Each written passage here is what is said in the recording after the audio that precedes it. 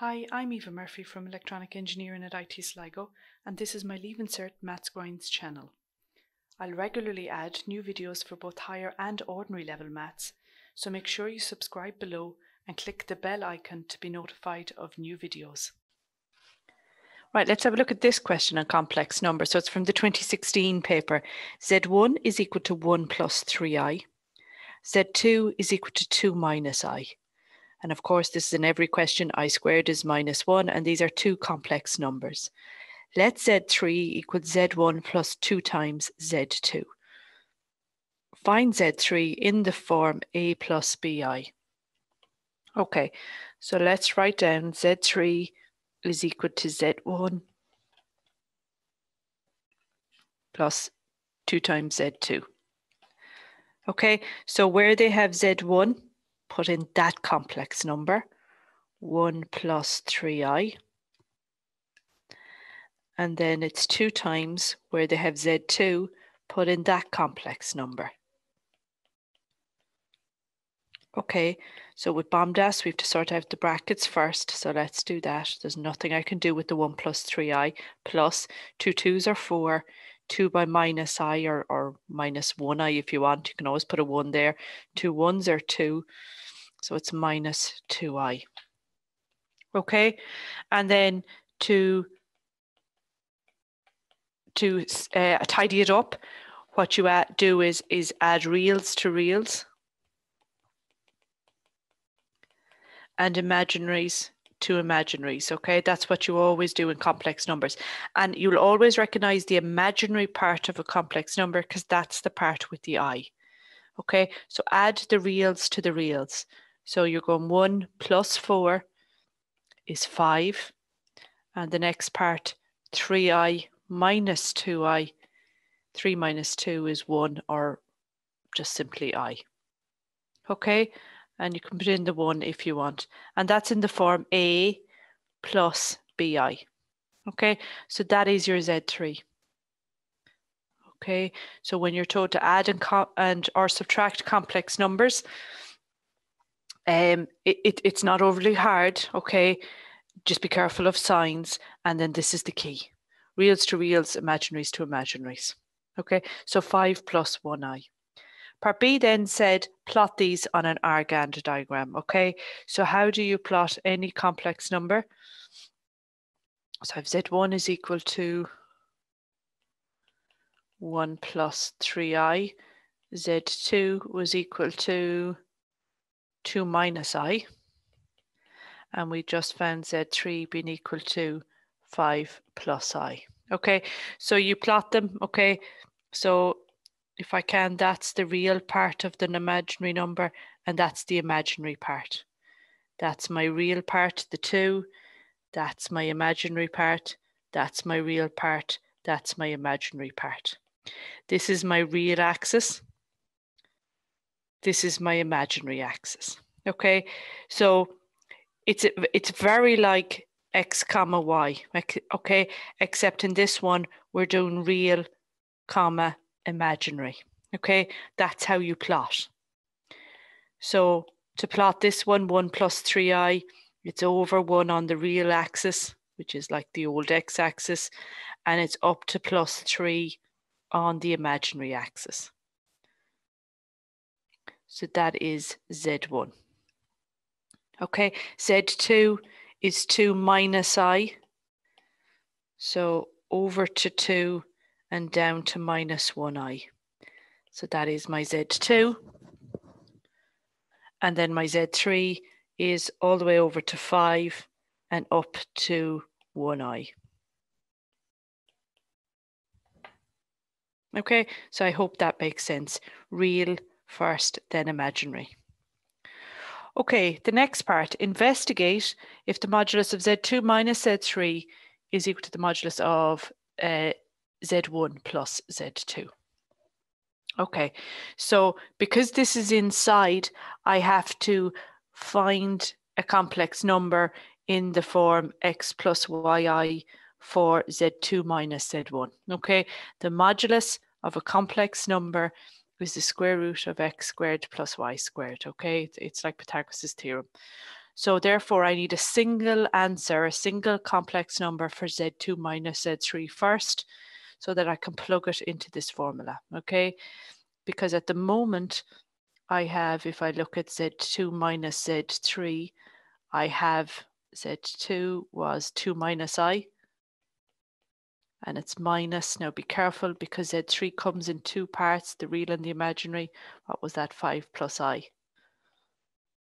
Okay, so that minus is going to change the signs of both parts of that complex number. So 2 minus i minus 5 minus i. Okay, so it's minus 5 minus i. Okay, and you can see now I have to tidy it up because that's not in the form x plus yi. Okay, so that's in a real part, that's an imaginary part, a real part, an imaginary part. And remember what we said in the first part? reals to reals, imaginaries to imaginaries. Okay, so I'm going to go to um, minus 5 is minus 3, and then I have minus 1i, minus 1i to give me minus 2i. Okay, so that now it's in the form x plus yi. Okay, so that's my x part and then that's my y part. So now I can get the modulus of z2 minus z3, okay? Because it's the modulus of minus 3 minus 2i. Okay, so it's the square root of, this is an effect is my x part, this is an effect my y part, not the i, okay, just the number before it. It's a bit like the minus b formula, we don't put in the x's, here we never put in the i's, okay? So it's the square root of the x part squared plus the y part squared. Okay, I'm just filling it into that. So if you put that into the calculator, it's the square root of 9 plus 4, so it's root 13. Okay, so I've got the square root of 13 for that first bit on the left. Now I have to figure out x1 plus x2. Okay, so x1 plus x2. And again, I need an, a single expression x plus yi before I can get the modulus of it. So x1 was 1 plus 3i plus x2, which was 2 minus i. Okay, uh, it's not as tricky. You can see that when it's a plus. I, I have to be much less much less careful. It's only when it's a minus there that you do really careful. But again, it's reals to reals, imaginaries to imaginaries. Okay, that's a real part. That's an imaginary, that's a real, that's an imaginary. You always know the imaginaries because they're the eyes. So you group them together. So one and two is three. 3i minus i is 2i. Okay, so now I can get the modulus of z1 plus z2 uh, because it's the modulus of 3 plus 2i. Okay, so it's the square root of 3 squared plus 2 squared which is again the square root of 9 plus 4, which is again root 13.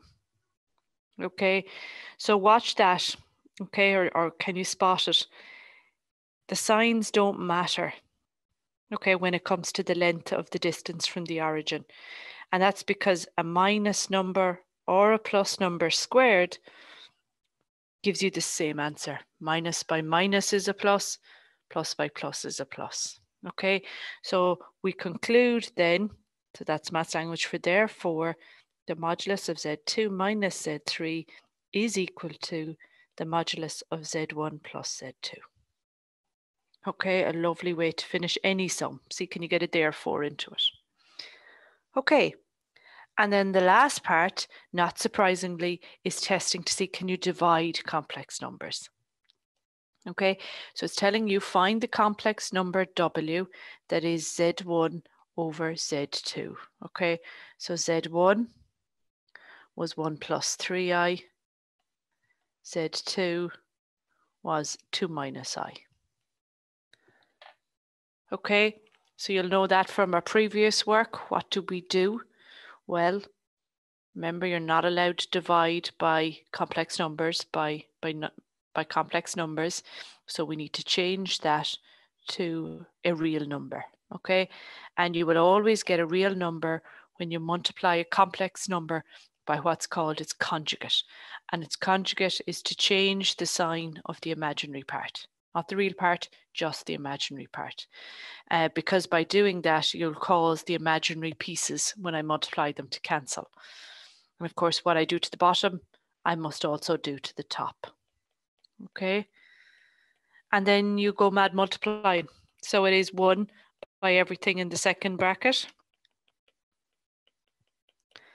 And go back for the plus 3i by everything in the second bracket.